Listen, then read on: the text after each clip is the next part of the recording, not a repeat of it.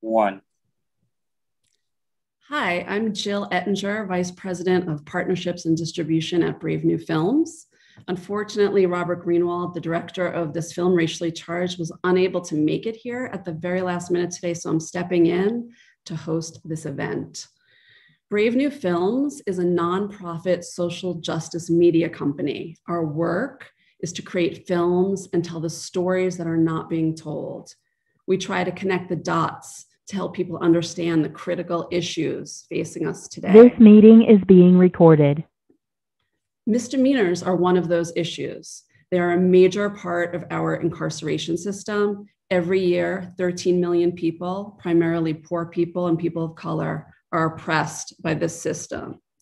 The short documentary that you're about to see tells the story of misdemeanors and connects the dots between the inequities that started right after the Civil War that intentionally still exist today. You'll see how profiteering and punishment are a toxic combination built on top of racism. I want to thank our co sponsors of today's event the ACLU of Minnesota, We Are All Criminals, and the Minnesota Freedom Fund. All of these organizations are working hard to fight for change, both to our criminal legal system and to our perception of what it means to be criminal. So please check out their websites and find out how you can get involved. And finally, I want to thank the many people watching on YouTube and Facebook today and those around the country who are signing up to hold free screenings of this film virtually or in person to make sure that the learnings from this film travel far and wide. We have over 300 signups for screenings so far with educators, faith groups, advocacy organizations, and that number is growing.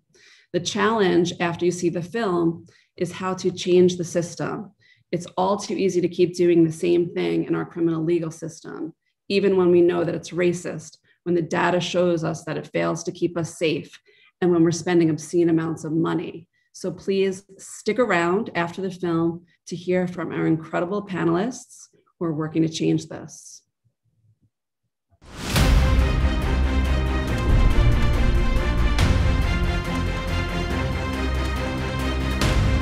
Biggest misconception about misdemeanors is that they are minor. To start hearing more and more stories of voter suppression, that broke my heart. They're the ones that are using the system.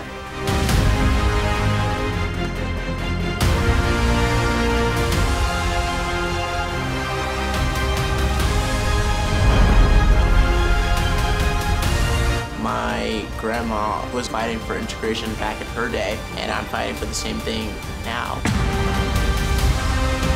The problem is the system is working the way it's supposed to.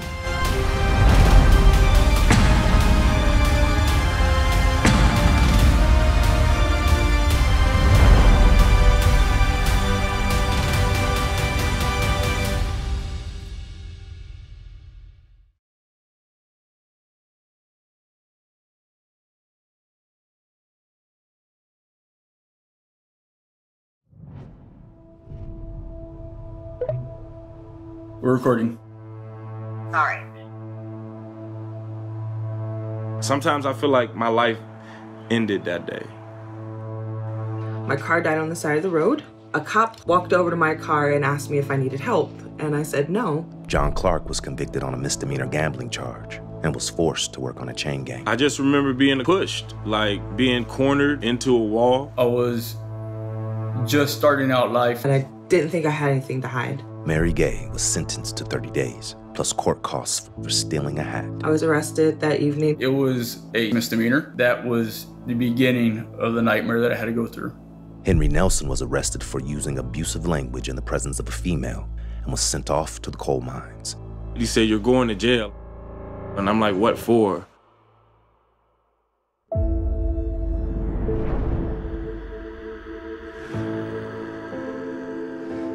Misdemeanors have historically been the chump change crimes that we didn't pay attention to. I've done nothing. I've done Man, I just got beat up by the police last night. I could have lost my life. 13 million. That's about 80% of all American criminal dockets. 80% of what our criminal courts do is misdemeanors. Got him in cuffs, look. The story of misdemeanors is the story of law enforcement continuing to prioritize African Americans, Mexican immigrants, uh, America's so-called criminal class. You act like I really just committed a serious crime. You did do something illegal. You crossed the crosswalk. You might see two or three police standing here waiting for you. And cops will jump out of van anytime, anywhere. That's what I was doing. The misdemeanor system has not gotten its fair share of blame. Misdemeanors are the invidious first step in the racialization of crime in this country. Too often, arrests for minor crimes devolve into police violence and death for black and brown people.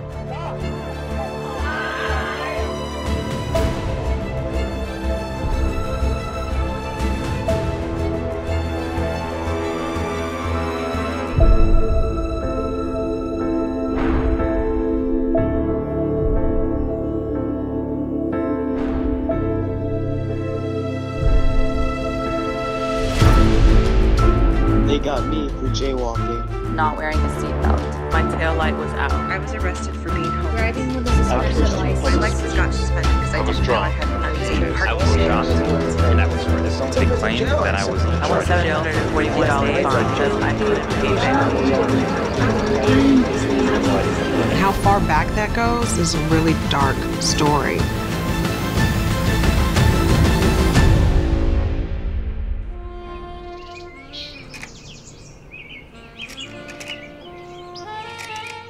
Reconstruction was an era when 4 million African Americans made it out of bondage and were able to achieve at really high levels.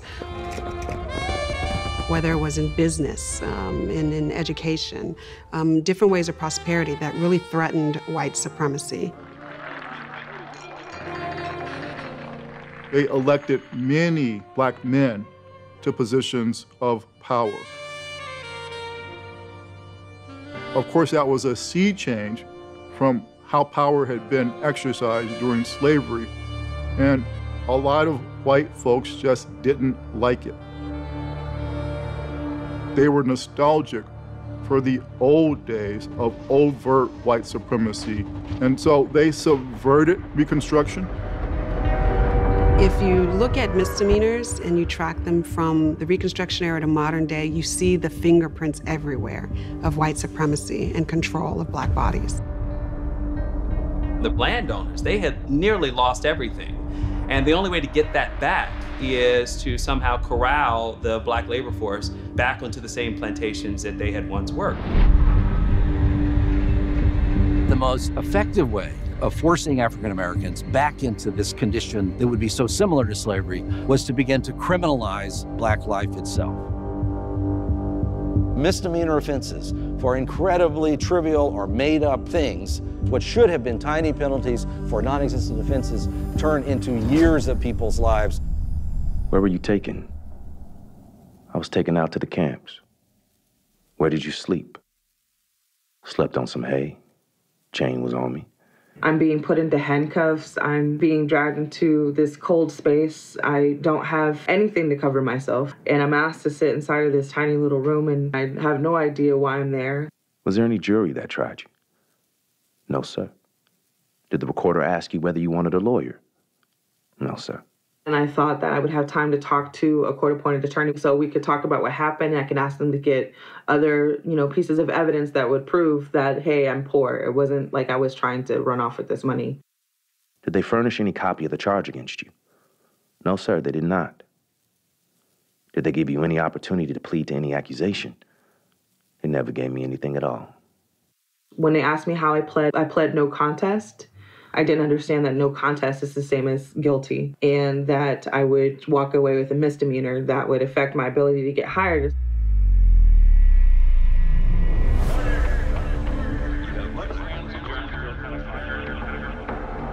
The justice system after emancipation was weaponized against black people. It perpetuated slavery by making the mechanisms of enslavement pretty much the same family separation, backbreaking labor, people having no rights.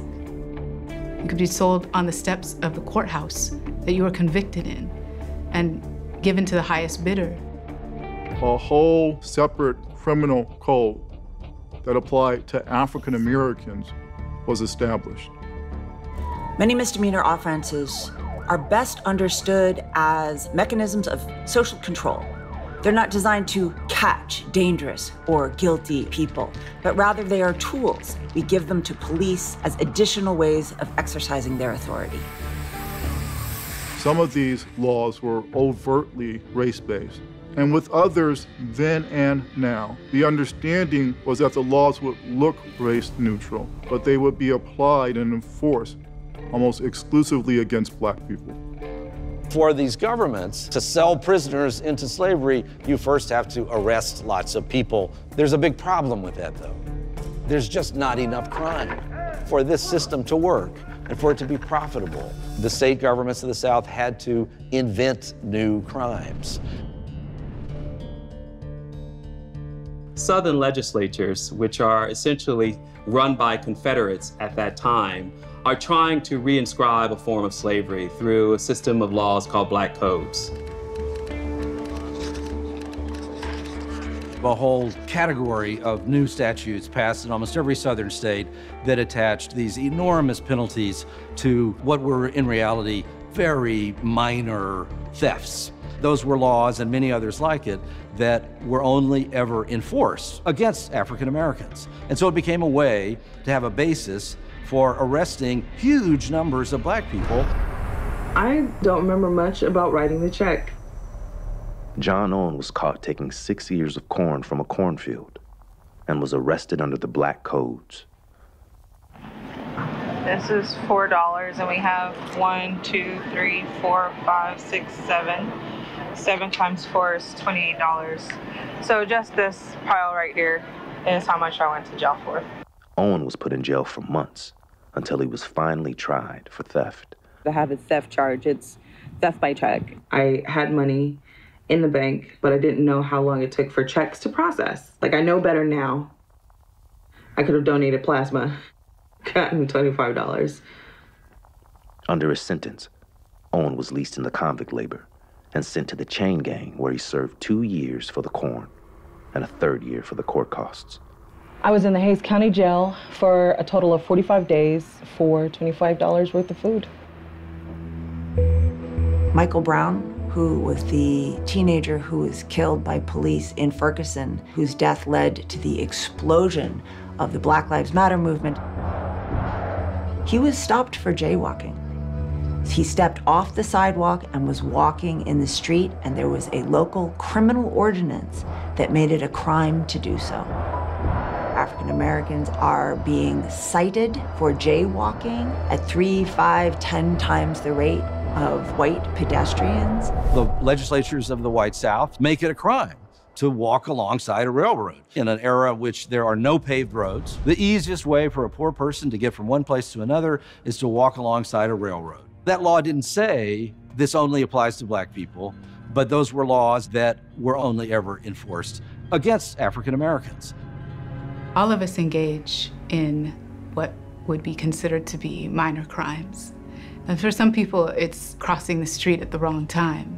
But if you're black or brown, then it becomes categorized as something that's criminal. So what is I doing? Didn't use a crosswalk. All I'm trying to do is go home, man. I'm tired. I just got off of work.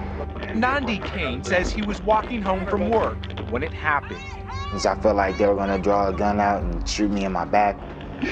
I'm tired of all this shit, man.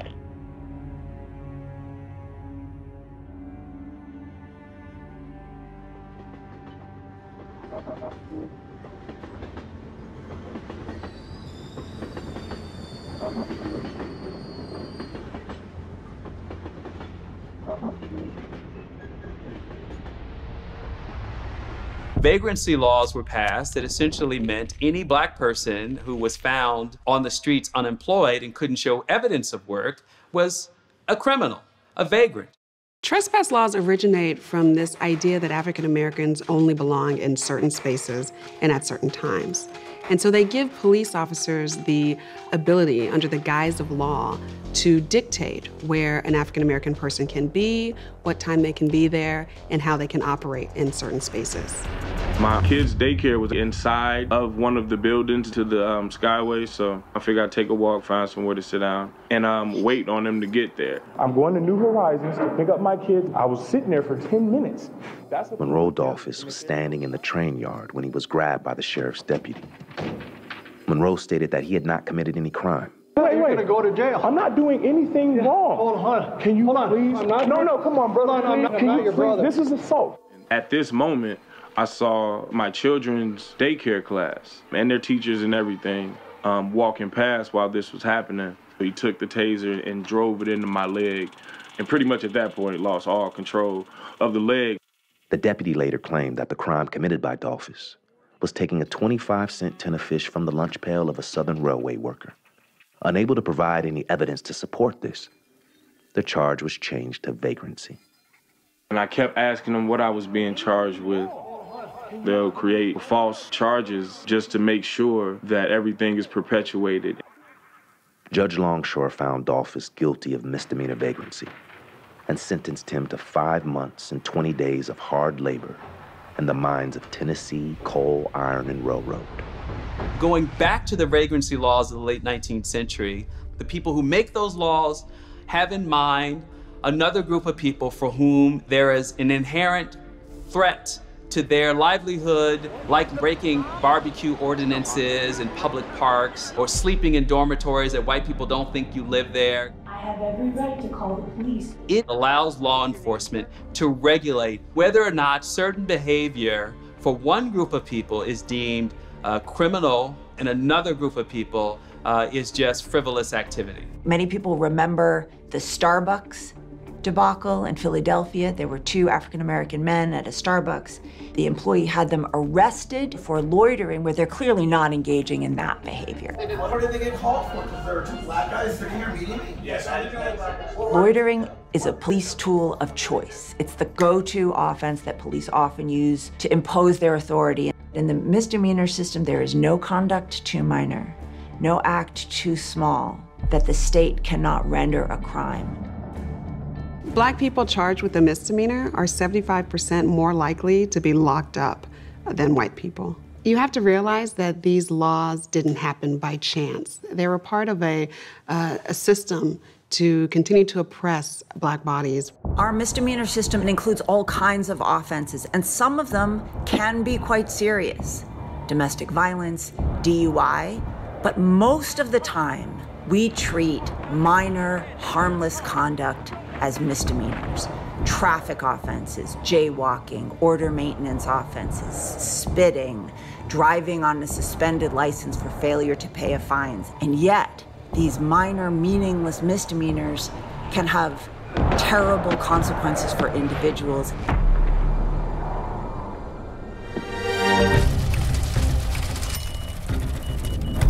To understand the misdemeanor system, follow the money. The accused are paying for the judges, the prosecutors, and the public made more than three and a half million dollars off phone commissary at the jail. It's a no money maker. They call it the $20 ad. Time a family member transfers money in JPay. Pocketing charges fee. leftover money from the inmates' about food budgets. $2,000 a month in They are a sales. controversial food vendor with a big fraud, state contract. waste, and Tonight, abuse. Aramark is The company that uses inmate workers. Today's system is estimated at $80 billion. The misdemeanor side of it, it is a way of saddling people with fines and fees that will put money in the pockets of the administrators of that system. The first time I got a ticket, my insurance had lapsed. So I got the speeding ticket and I got a no insurance ticket at the same time. The next time I got pulled over, I was arrested for driving with a suspended license. I paid the tickets, paid the court costs, paid my fees and fines, but they said for driving with a suspended license, the punishment for that is we're gonna suspend your license for two years. I would often have to choose between paying my inspection or my registration or paying my light bill or other bills that I had. I had to drive my car to get to work because I had a construction job. If I needed to take material to the job, I couldn't take plywood or 2x4s on a bus.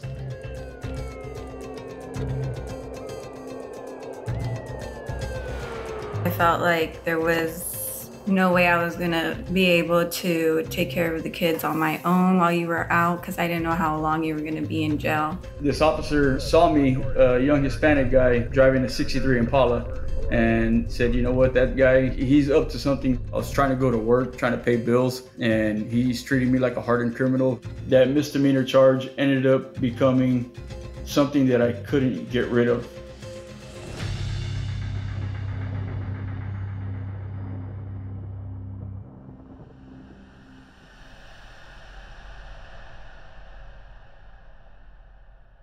They're being treated as revenue sources, charged daily fees for being in jail, supervision fees, tether fees, drug testing fees, database fees to fund bail bondsmen, private probation companies, electronic monitoring companies, drug testing companies.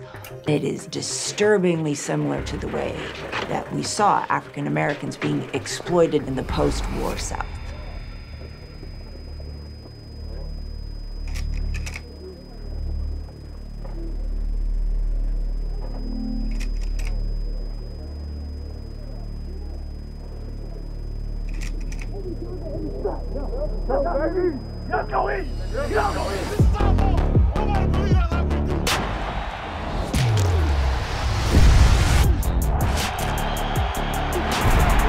I'm Demario Davis, uh, linebacker for the New Orleans Saints. I was born and raised in Mississippi, pretty much raised by a single mom.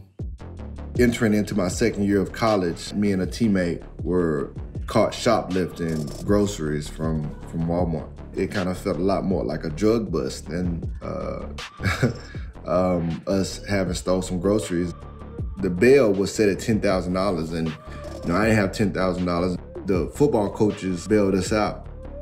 A misdemeanor, you're supposed to be able to uh, be in front of the judge within 90 days. But this is not happening. This is not happening in our country. We have people who are spending seven, eight months in jail who have not even been sentenced.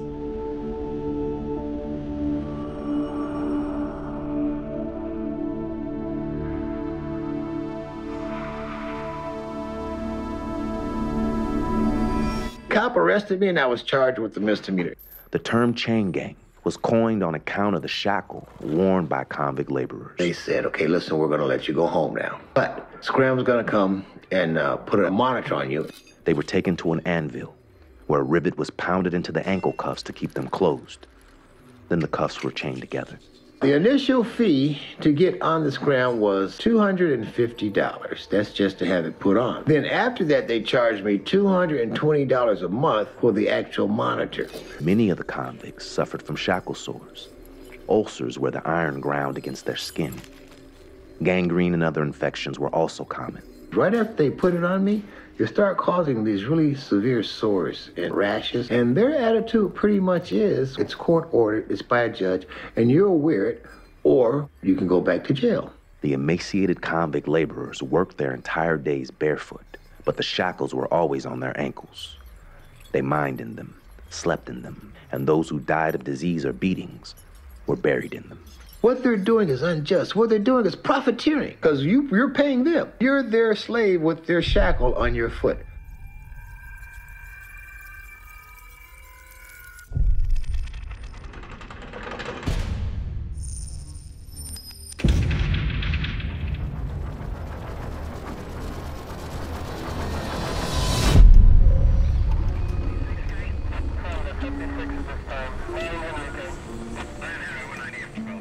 Remember this hopeless feeling just overcome me. I couldn't take care of my family. The biggest misconception about misdemeanors is that they are minor. The full consequences of getting a misdemeanor can be astronomical. It hurt me for 10 years and it completely disrupted my life. And I have been trying to figure out how to get my life back on track. This will be a part of my story for the rest of my life. When people are booked into jails for a week or a year or even a day, you just cannot avoid the trauma that's inflicted upon you. The moment you hit the jail, you don't come out of that unchanged or untouched. You witness trauma, you witness violence, and it changes you. It changes your community. I tried to get a job at Amazon where my roommate worked. I called to Walmart and I called to several other retail stores. I got turned away because I had a misdemeanor charge for theft. Not enough people talk about what it means to have a misdemeanor on your record. It can determine the kind of job that you get, to the kind of housing that you can qualify for, to the kind of schools that you can go to. A lot of people are harmed for life because of the smallest infractions. They're being rendered homeless. They're going without food, without medication. Their children are suffering. Due to misdemeanors, I lost my housing. Shortly after that, I lost my vehicle, which led to me losing my job. And it was just one thing after another, like like kicks to the face. I had full custody of my children. They had to get to school. We had to sleep in the car, waking up at like four in the morning, getting to a laundromat to make sure that they have clean school uniforms. I had worked so hard, and all of that was ruined by one charge. One misdemeanor ruined my ability to get even just basic work.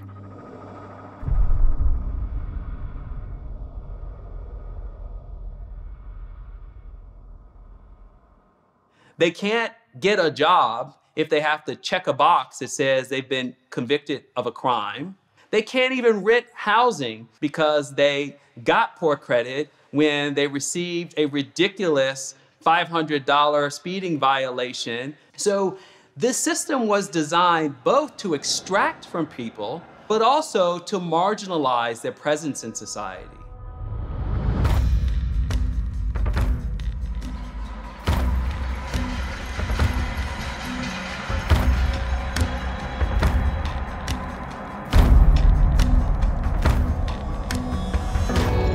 It's gonna be a mass grave site. This is a dormitory.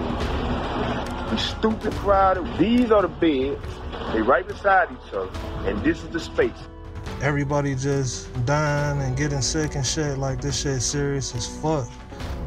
Bro, you alright? Mm-mm. You want me to go get the police? No. What have you done this bitch? You ain't gonna do nothing about it. This motherfucker literally in this bitch dying, bro. I don't know what to do. One of the worst places to be during this pandemic is locked up in jail. The judge never said, I'm sending you to prison to die. The same horror story is emerging of the unchecked spread of infection and inmates essentially being left to die.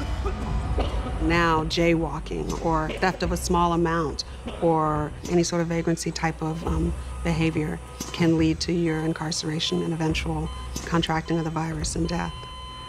I've been in jail for two and a half months for petty theft, a nonviolent crime that carries a misdemeanor charge for the price value of um, less than $100. There's been three deaths, two being inmates, one being a guard. As far as like people who are working for the facility, they're like intertwined. They could easily be catching it.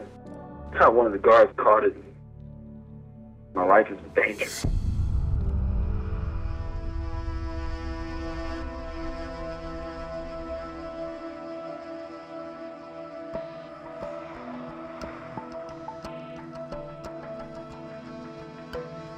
These human beings aren't valued enough for us to apply the same kinds of safety measures there that we are in other sectors of society. If it wasn't already bad enough that you are booked into jail because you didn't have the money to pay the ticket and your license is suspended, that is now life threatening to you.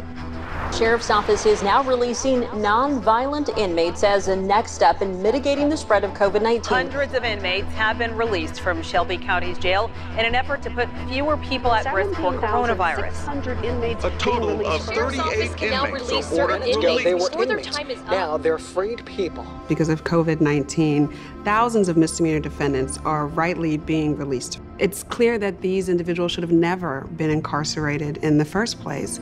Um, we can tell by the fact that after these releases, we haven't seen any sort of crime wave.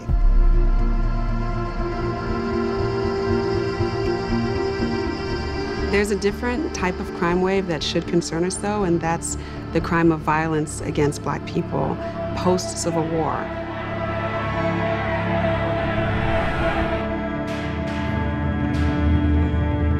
State violence has historically been used to intimidate people of color, especially black people. We see this all throughout history.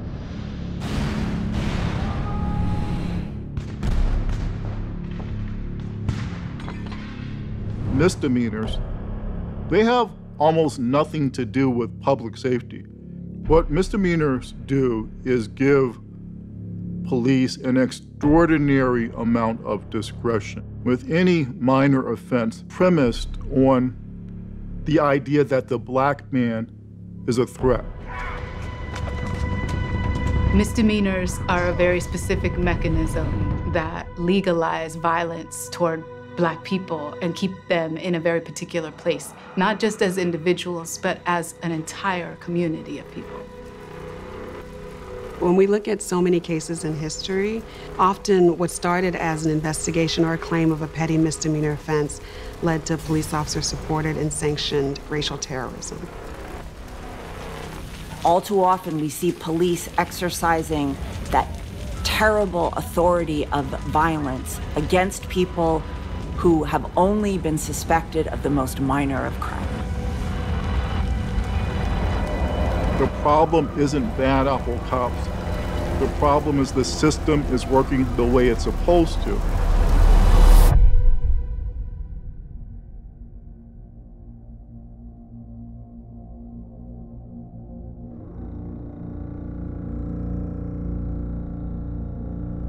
Police shot this boy outside my apartment.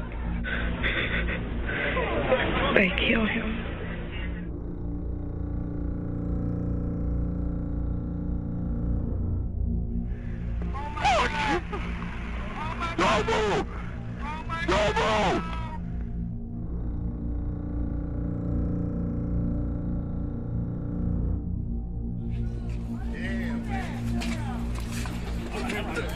I can't breathe. I can't breathe. God,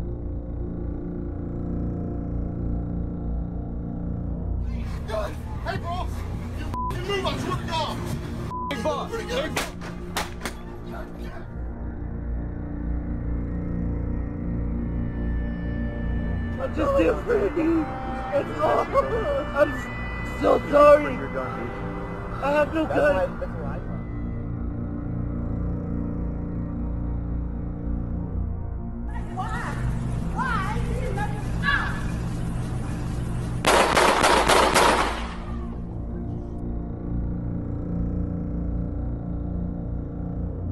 Gray appeared to be unable to walk and was screaming as he was carried, feet dragging on the ground, to a police van.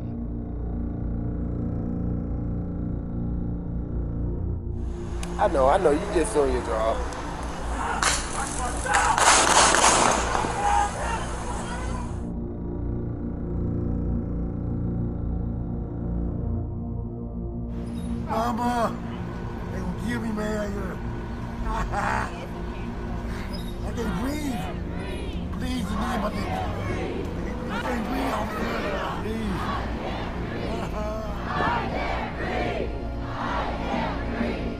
Life could have so easily been taken in that skyway. George Floyd goes to show further that the most minor of offenses, even no offense at all, could result in death. The very purpose of racial terrorism is control, is social control. What we have seen in the killings of those accused was that misdemeanors became the gateway for police violence and murder.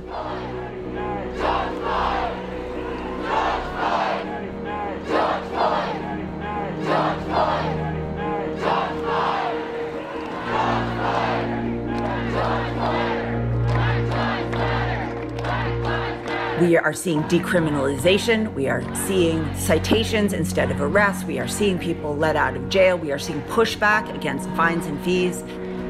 But at the same time, there is so much more work that needs to be done. Who defined what a misdemeanor is? The whole thing was built on exploitation, on racial violence, on building up industrial capitalism. We should not be locking up people who speed, who are too poor to pay a fine or a fee, who loiter or trespass or jaywalk. They're not dangerous. They're not scary. There's never been a good reason to lock up anybody for petty offenses. Like slavery back in the day, the law itself is doing the work of oppression. The criminal law is providing the authority to arrest black people, to punish black people, to kill black people. And ultimately, the real crime is that we're black.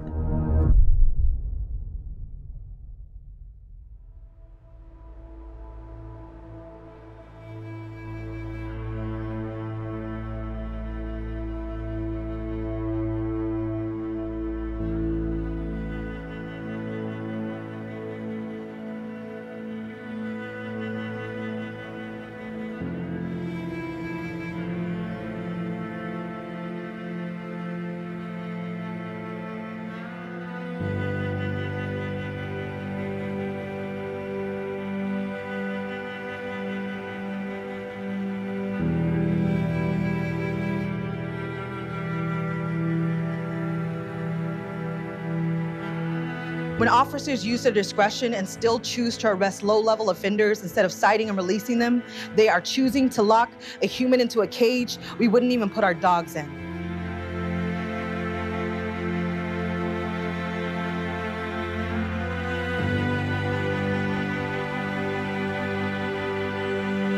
We got 123 people out of the Hays County Jail yesterday.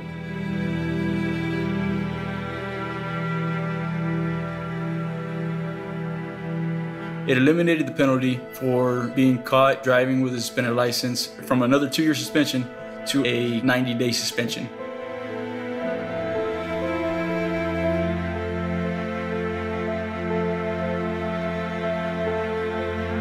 Don't allow the outside world to corrupt you. Don't don't allow the outside world to tell you who you are.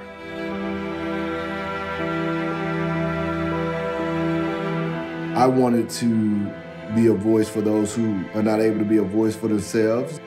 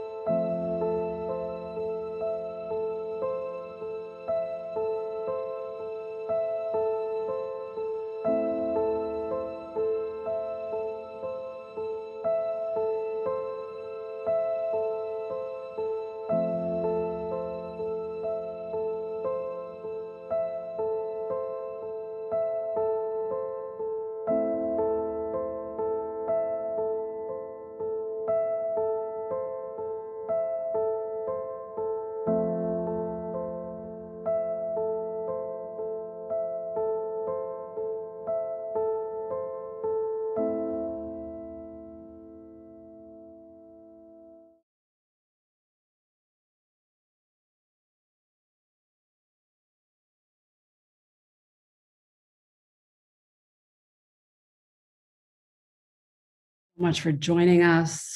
To the members of the press that are on this Zoom, uh, we'd love to take your questions. So please feel free to put them in the Q&A and we will get to them during this conversation. I'm now going to turn it over to our guests who will each speak to their personal experiences, what they believe is most important about this film and how it relates to the work that they're doing. Mary Moriarty is an attorney who served as the chief public defender of Hennepin County, Minnesota until 2020. During her time working for the county, she and her team shined a light on the inequities in the criminal legal system, specifically when it came to racially biased police stings and traffic stops. Mary? Thank you. So, a, a, couple of things that stood out to me. Um, the the idea that the courts have really given law enforcement uh, discretion, and one of the problems with misdemeanors is it gives police officers an opportunity to interact with a member of the community simply based on an officer's suspicion that a misdemeanor might have been committed. And in fact, we have something called pretext stops that the United States Supreme Court says are legal. And so all that's required is that a police officer uh, who might be following a car uh, be able to articulate something that the driver actually did, like fail to signal a turn, um, something of that nature, which everybody does. Cops will tell you if they follow somebody for long enough, they will do something like that. And then it gives the cop the opportunity to interact with that person and, and look through their car. And that is where we see a lot of Black men and women um, who've lost their lives because police officers have escalated those situations, which were really based on a suspicion of a misdemeanor. Uh, so that's extremely problematic. I, and I wanted to mention Philando Castile for a moment. Um, I, sometimes people forget that he was actually pulled over by law enforcement something like 50 times on various misdemeanors. And ultimately, as we know, he was shot and killed uh, when he was pulled over for one of those misdemeanors. So, so part of the issue here isn't even about the enforcement or the final, if somebody is convicted, it does give law enforcement way too much discretion to investigate. And I, I followed Mr. Lollie's case. Um, I watched that happen. And if you look at the video there, you can see um, other people walking by. Yet the police chose to focus their attention on Mr. Lollie. Um, and that's an example of them exercising discretion, um, which we know lands uh, a lot more on Black residents. You mentioned that we, our team at the Hennepin County Public Defender's Office, did do some research using the Minneapolis Police Department data dashboard. And that was about stops. And there were uh, really, really large racial disparities for people pulled over and people stopped and people searched. So, the, and there's no, um, there's all kinds of research around the country. Uh, it's very clear that police officers pull over Black and Brown people at a much higher rate than they do white people. There's also research that says Black and Brown people aren't committing more crimes than white people. Um, there's also research that they aren't caught with contraband anymore as well. So it's not a good uh, tactic or strategy, and it is incredibly dangerous. The other thing I wanted to do is kind of skip to the end. You know, a misdemeanor isn't just a misdemeanor because, as we know, people can be convicted of the misdemeanor, and we we saw in the film that there were fines and other consequences there.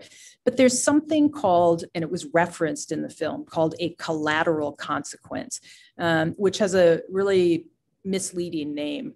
And I've been a public defender. I just retired Friday, actually, for 31 years. And the legislature and regulatory bodies have added so many consequences to convictions that are not really collateral because you can find it very difficult to rent an apartment, buy a house. Uh, in this in this rental market, if you have some kind of misdemeanor conviction on your record, is a landlord going to choose to rent to you? You may not be able to live in public housing with your grandmother. Um, you may not have access to certain licenses. For instance, you can't be a barber uh, with certain convictions or a PCA. And very often people aren't told that when they plead guilty to these types of offenses. And then later on, uh, they apply for some kind of license and they find out they no longer can do the career that they wanted to do because of this misdemeanor conviction. Um, and I think, as the film said, there are over 9,000. I think there are even more uh, 9,000 the 9,000 statutes for collateral consequences, which just seem to grow and grow. So that's also a huge problem. Uh, the last thing I wanted to say was when um, COVID came to the courts, um, the court in Minneapolis and Hennepin County wanted to open the court system for out of custody misdemeanors. And they wanted to open it up and make clients, public defender clients, many of whom are unfortunately Black and Brown, um, come to court uh, without screening. Um, and people were coming to court and they were sick Um, and the people who interacted with them were our staff because the judges and clerks were behind plexiglass. And we had many discussions about that. And it was very clear that the judges um, value was more about getting people processed and not getting behind. Um, and, and, that was more value to them rather than making people who may have COVID, um, who may be sick, come in, who were afraid not to come in because they might get a bench warrant. So there's a huge shift that we need um, with judges uh, and prosecutors when we look towards misdemeanors. Thank you.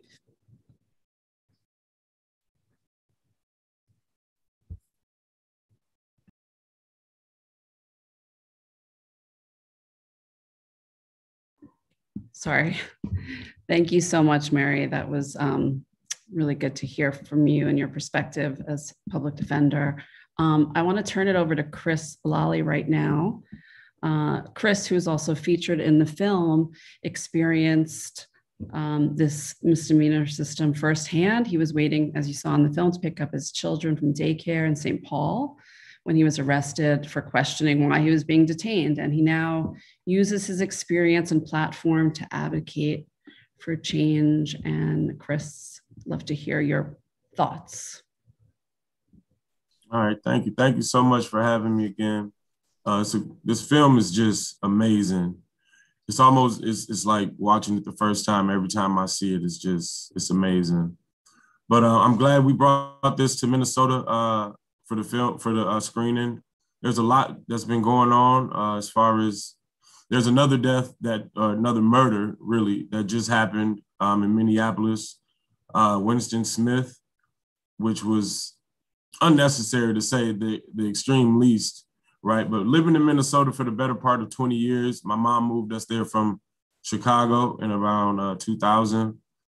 Um, and being young, I didn't really understand, but it was a culture shock right? And Minnesota is, is one of those places where um, the, the Black population isn't even really that big, right? There's only about 300,000 Black people um, in Minnesota as a whole, right? So I didn't really understand that discrepancy until I got a little older and I realized like all my friends had misdemeanors, like men and women, and they were all Black, right? And at a certain point, I realized it and I was like, it just, just seems like they don't want us here and this was just like a, a, gut a gut feeling right like i didn't have any statistics or anything to back this up but seeing the experiences of not only my friends but myself it did like mary said it just seems like the system was set up to keep us in a certain predicament or situation and ultimately it just seemed like they didn't want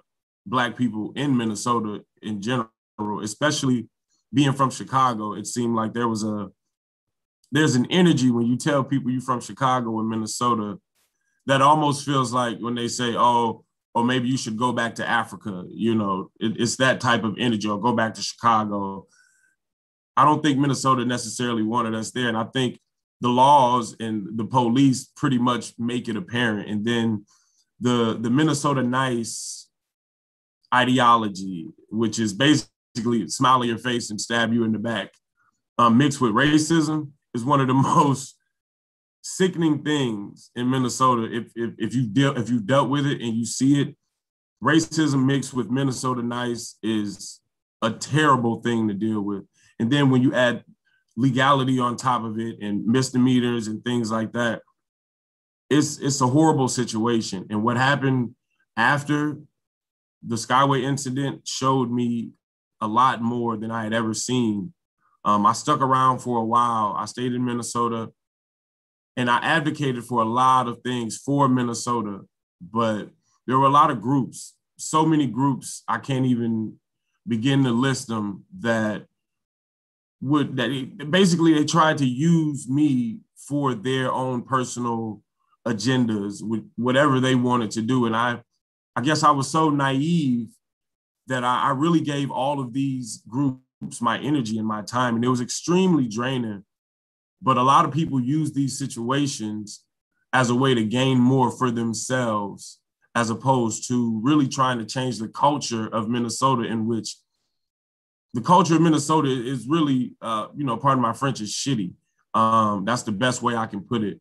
Um, but to change the culture in Minnesota would mean people would have to come together and realize what's actually happening to our people in Minnesota to change it on a higher level than just um, community. We need community action, but it, it's it's so broad on a higher level that a lot of people aren't really paying attention to. And I think this film really shows how deep and how high this goes, especially for Minnesota, because we keep hearing these stories coming out of Minnesota where it's just racially based, right? Like it seems like black people in Minnesota are having a really hard time. And I had to leave for myself.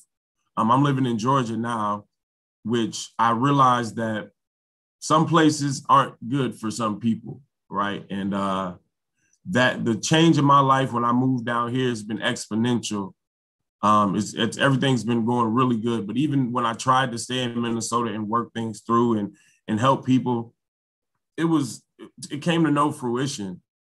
So I really hope people see this video and see this film and understand that there's so much work that needs to be done for Minnesota to be an equitable place for Black people to live. It's the second or third worst place in America, statistically, for Black people to live. So we're we have a, a it's a tall task ahead of us to change the dynamic of how Minnesota treats its population, which 5% of it is Black people, but we're still a part of the population and we deserve to be treated with respect and dignity. Right. So I appreciate y'all for having me. I think I'll finish with that. Yeah. Of course. Thanks for that, Chris. Um, okay, next up, we would love to hear from uh, Irene Joe, who is a professor at UC Davis School of Law. Her research focuses on the design of the criminal process and its effect on institutional attorneys to manage overwhelming caseloads and comply with ethical requirements. And before UC Davis, uh, Professor Joe was served as a fellow for the Equal Justice Initiative of Alabama, where she represented represented indigent defendants in capital post-conviction litigation and children sentenced to life in prison without the possibility of parole. And as an educator, um, we'd love to hear your perspective. Yes, thank you, Jill, and thank you, Brave New Films and Robert Greenwald for creating this film. I very much appreciated the opportunity to share my perspective and expertise on the misdemeanor problem that pervades our criminal justice process as part of this documentary. And so it's really wonderful to, to see it um, live in this way. Uh, I'd be remiss if I didn't, you know, take this moment to really thank Alexandra Natapoff for writing the book Punishment Without Crime that inspired the documentary, um, as well as each of the system impacted people who were willing to share their painful experiences as part of this film production. Um, every year in my first year criminal law class, uh, me and at least 50 first year law students talk about the agonizing video of Chris Lollie's pain in that Minnesota Skyway as he waited for his children and what his experience means about our criminal process. Um, we also talk about um, Chris's passion and activism and artistry afterwards and what that calls us to do as lawyers and future lawyers. So it's, it's truly an honor to have been a part of this film with him and to, to be on this panel uh, with him today in many ways, this uh, documentary epitomizes why I became a legal academic. Um, as, as, as, Jill mentioned in her introduction, I started off my career as a criminal defense attorney at the Equal Justice Initiative of Alabama, um, where I represented people on death row and children sentenced to die in prison, really, because of their life without parole sentences. And then I joined a new public defender's office in New Orleans, Louisiana, um, that was created in the wake of Hurricane Katrina the the energy and the expertise and the engagement on the ground in New Orleans was unique. It was awe-inspiring and it was really encouraging. But one of the things that I noticed was the way in which the criminal court and indeed to a degree the public defender's office treated misdemeanor cases in comparison to how they treated felony cases. I think it's precisely because I came from doing death penalty work that has struck me so strongly. Perhaps if I had gone from doing death penalty work to representing clients in felony court, I wouldn't have noticed just how stark the difference in attention given to misdemeanor cases and the resulting impact of misdemeanors in the community I was fortunate enough to serve as a public defender.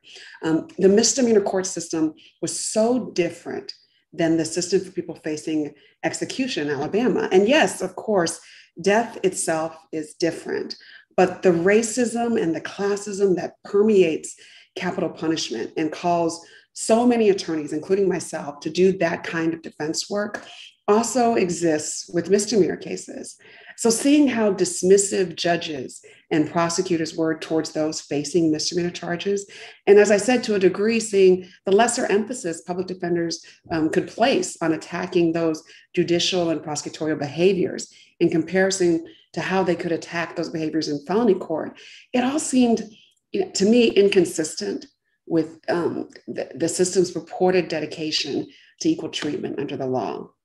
As, as the film points out, the US criminal justice system is just really effective at controlling the movement and behavior of Black people. You can't spend time working in the nation's criminal courts without seeing that for a fact.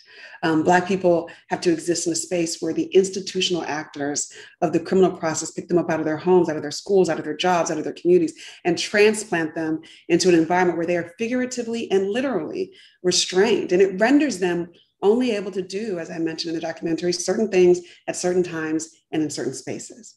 And misdemeanors are the most expansive power the government uses in doing that. So these so called minor charges and minor behaviors allow and even encourage the government to intensely monitor and harass African American people. They set these boundaries for how um, Black people are able to exist and punish any slight deviation under the color of, of these so called uh, objective laws. And you saw that every day in misdemeanor court. For example, even the very way misdemeanor charges were handled, right? The vast majority of the misdemeanor process was handled by magistrate commissioners in New Orleans and not elected judges, right? So these commissioners did it as a second job, right? As if to emphasize how unimportant it was. Court would start in the, the late afternoon, and often it was so disorganized that it would stretch to all hours of the night with little regard for the other responsibilities, be they work, family, or personal, that those facing the criminal charges might have had. And, and that meant that people were just sitting in the courtroom for hours, confined to that space.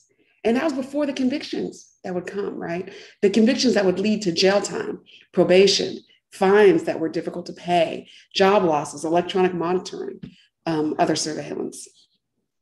Similar problems um, exist in felony court, right? Of course. But one, misdemeanor cases are a much bigger percentage of criminal court dockets than felony cases. And despite that reality, those effects in misdemeanor cases just don't get as much attention as they do in felony cases. Uh, when you hear the data and you learn the history of misdemeanor crimes, you have to see the connection in how misdemeanors are used to manage and control the very existence of people and behaviors who certain decision makers considered undesirable. And you realize quite quickly that what those decision makers thought was undesirable was Black people doing ordinary things right? So, one of my interests as an academic is to draw attention to that, but primarily through the lens of how public defenders, who by some estimates represent about 80% of those facing criminal charges, can better address the systemic racism in the misdemeanor process. I have a deep love and respect for public defenders. I admire them so much. I feel honored as to be a panel, to be on this panel with two of them. You know, one, Mary Moriarty, who helped train and develop me as a public defender, right? And I remember my own commitment and dedication to my clients. And I recognize those same foundational principles in so many public defenders I worked with back then and those that I meet and speak with now as an academic.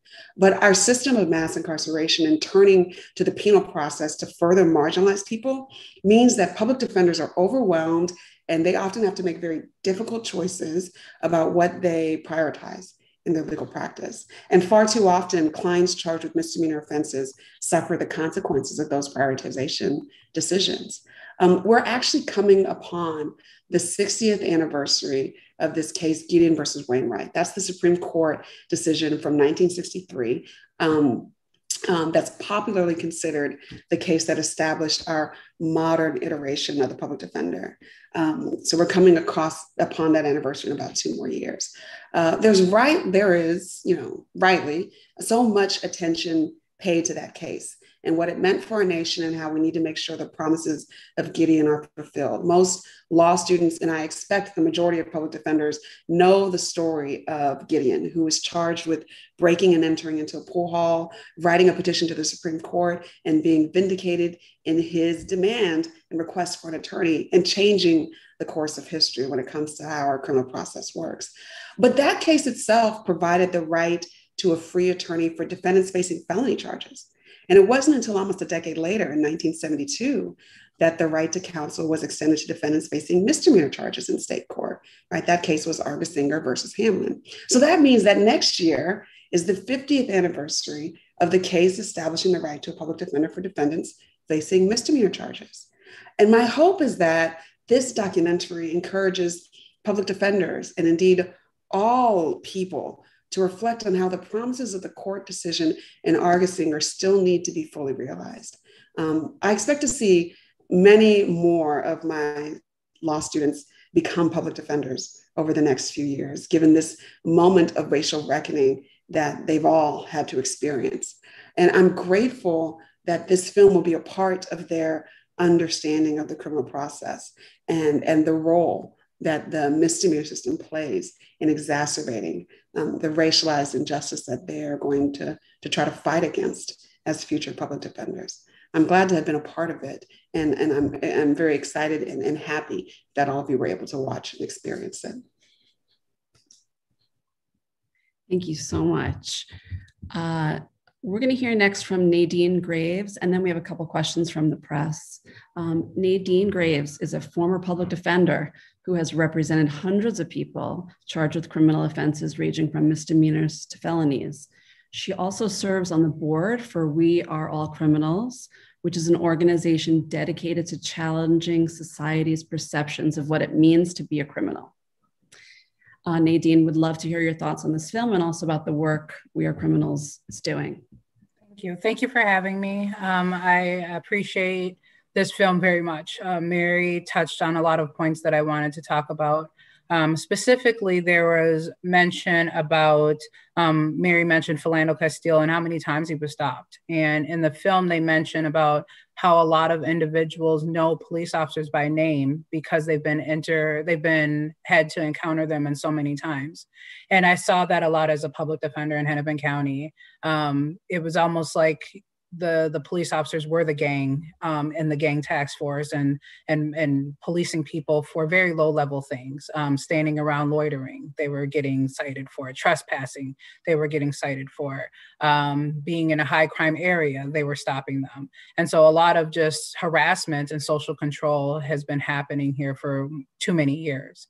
Um, through we are all criminals we talk about how we are all criminals in the sense that everyone has done something that is a crime. And as you see in the film, just about the smallest infraction can be a reason to have an, an, encounter with a police officer. If it's driving on the road and your tires touch the white line, that gives an officer a reason to stop you.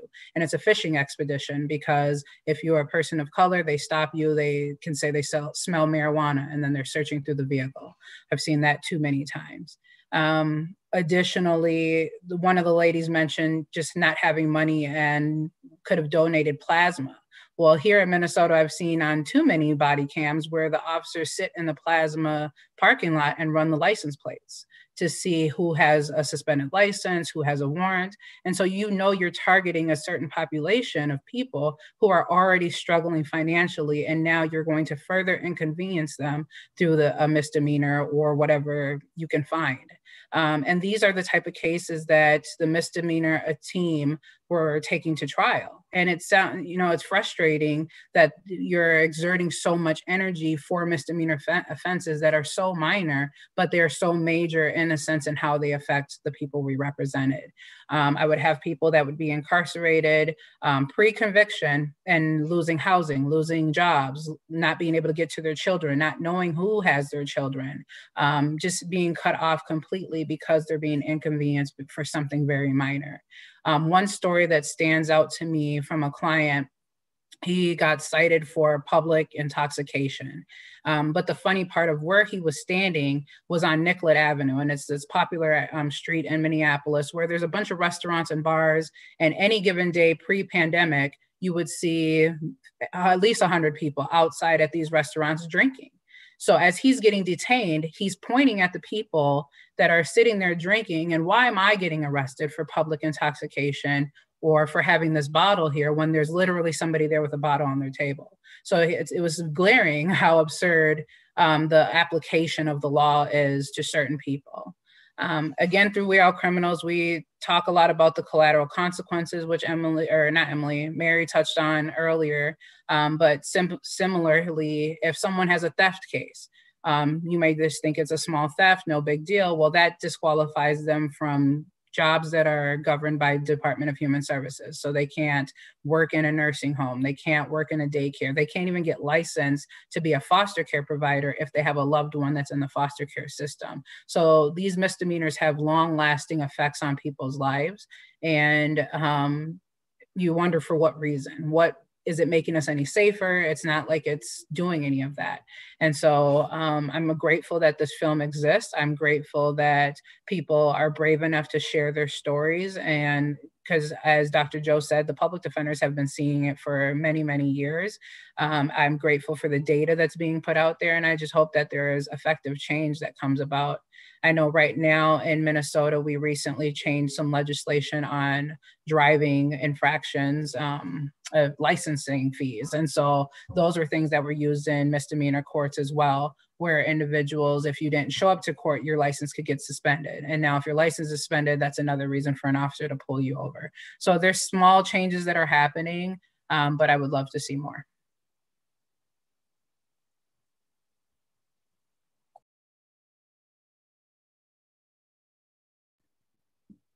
Thank you so much. Um, we have uh, two questions. The first question I, would like to throw to um, Mary, who's the former Hennepin County Public Defender. The question is Minnesota misdemeanor, this is from Randy Furst from Star Tribune. Uh, Minnesota misdemeanors include petty theft, public intoxication, simple assault, shoplifting, vandalism, reckless driving, indecent exposure, for example, how should such cases be handled by authorities? Um, thanks for the question, Randy. Um, you know, we we have it's consuming in public.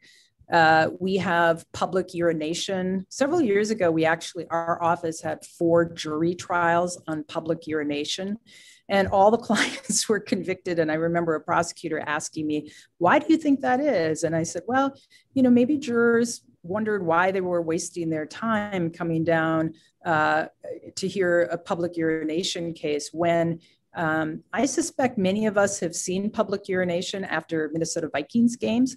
Uh, so it goes back to what Nadine said in terms of there, there are things, there are behaviors that people do um, that are criminalized for other people. There are behaviors that people do in public because they're unsheltered. You know, anybody who wants to drink alcohol, who has shelter, can drink in their house. But just by virtue of walking down the street with an open container or consuming alcohol in public, you can be charged. And that happens to a lot of people who are unsheltered. So I, I would say we we need to make some of these things not criminal why, you know, and frankly, the answer to um, public urination is to put uh, public uh, pot, porta potties around. I mean, that's the issue. People don't have a place uh, to go if they're unsheltered or if they're coming from a Vikings game or something like that. So a lot of these actions don't need to be criminalized at all. Um, for some things, like you said, simple assault, uh, there would be a good way of diverting those types of cases before somebody's ever charged. Uh, restorative practices before somebody's charged, because I think in this day and age, once you have a charge on your record, um, landlords can see that, jobs can see that. So I think the goal should be to keep people from coming into the system via arrest. Uh, there are also I, I, look at downtown Minneapolis and I, I'm there all the time. I feel very comfortable there, but it's pretty clear that there are a lot of people um, who who don't like looking at certain behavior and who frankly are uncomfortable looking at black youth um, downtown and you know there are businesses who will call 911 um, because somebody you know a group of uh, black men youth hanging out, um, scaring people away. And, and, that isn't a crime. It isn't a crime to be a Black youth and to be in downtown. So a lot of these are social issues that have to do with others um, that should not be criminalized. And we should not allow police officers um, to be interacting with uh, people who are who have just as right to be downtown as anybody else most of the crimes that you put up there are also something that happens because people have a need, like theft. A lot of people steal food, like we saw in the film, um, or you know we see people steal baby formula diapers stuff like that people who steal a misdemeanor amount of thing don't need to be in the system so I think uh, we can make many of those not criminal. They don't need to be criminal. We can also be much more creative in diverting uh, people who are accused of those types of crimes by not charging them, by sending them to diversion programs, uh, or by uh, doing restorative justice practices, which I think would I know would be much more effective than what we do now. Because a lot of times police will book somebody in downtown on a what's called a probable cause hold and they'll just wait until their hold runs out and that costs taxpayers money and it also there's really good research about the fact that just putting somebody in jail for as little as 24 or 48 hours can, can completely destabilize their lives and result in them uh, committing another crime, losing their housing, losing their job. So many people work at a job, such as a McDonald's, where they don't have days off. And so if they are in jail, they are going to lose their job. So for a lot of those misdemeanors, they don't need to be crimes at all. Um, but for the ones where there does need to be some intervention, um, I don't think most of those people need to be charged uh, and that we could uh, rely upon uh, alternatives which are more about accountability uh, than punishment. Agree. And the next question, you, you've touched on this, Mary, but um, I'm going to throw this to Nadine. Um, what changes in law are recommended by panelists regarding misdemeanors? Also from Randy at Star Tribune. I think Mary hit on a lot of them um, as far as just decriminalizing things that shouldn't be criminal. Um, the petty thefts, those are, there's diversion programs that are available for that. Um, public intoxication, she already noted, just put up porta potties, you could avoid that. Um, trespassing individuals, there are restorative programs that you can put in to address the concerns that people actually have. The issue is, as Mary noted, there is disparities in who is getting policed and so we could change all the laws that we want to change but if people are still uncomfortable with seeing black youth together there's nothing I can do about that until uh, unless you continue to do what the work that We Are Criminals is doing and exposing that and causing people to check themselves and like why am I uncomfortable with seeing black youth together but I'm not uncomfortable at the New Hope swimming pool where there's a bunch of white youth together? You know similar stuff like that I think is is huge. Um, I think also decriminalizing marijuana because I've seen that in too many cases where officers are saying they're pulling someone over because of that substance substance check the car and there's none of that substance in there. So it could very well be in the neighborhood someone was smoking but why is that a reason where you're pulling somebody over when there's no driving conduct? There's nothing no other reason for you to pull them over. So i think those would be my starts on changes in the law. Thank you. Uh, before i close, is there anything anyone else wants to mention in response to any of those questions or that's come to mind from any of the other panelists?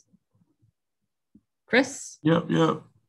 Uh, yeah, I read this question. Uh, you know, I'm not too astute as far as law goes, right? But I do believe um, having armed officers um, approach people who have petty misdemeanors like you know theft and things like that it's, it's overkill right like and, and having warrants on on the top of that like you know it just gives them way too much leeway to completely destroy someone's life, right? So decriminalizing some of the some of these misdemeanors, I think would is definitely necessary, but also having I don't feel like we need armed people accosting someone who isn't a threat that deserves or needs to, you know, have a, a firearm in the vicinity, right? Like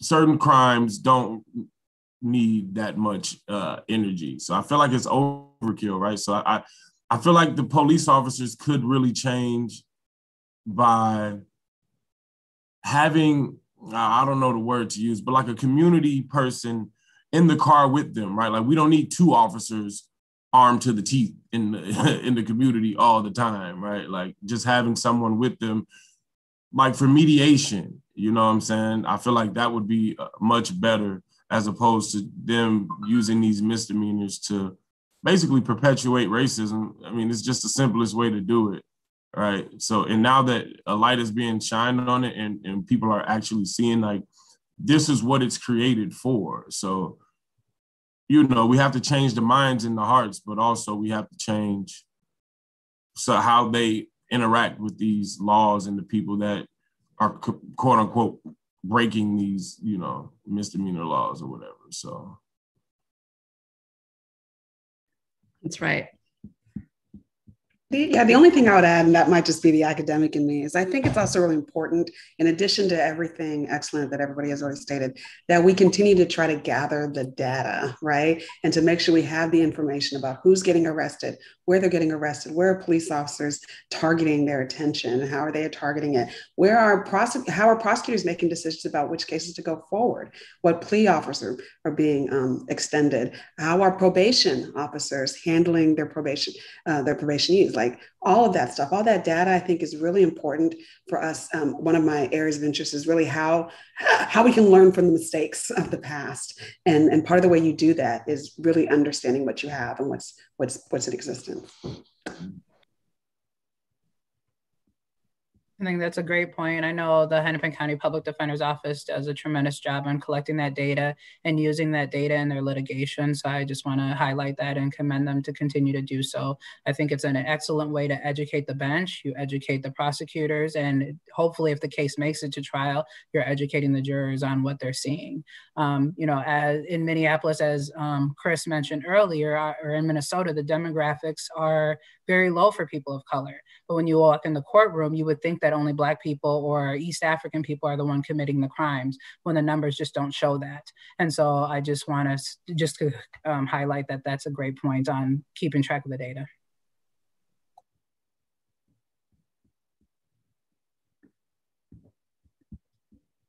That's right. Okay. Um, well, I think we're going to close up. I want to thank everyone so much for joining us today um, especially to all of the speakers. And uh, thanks for lending your voice to this film. And uh, I want to remind everyone who's watching at home that this film is available for free to watch on YouTube and Facebook. And you can also sign up to host a screening at misdemeanorfilm.org.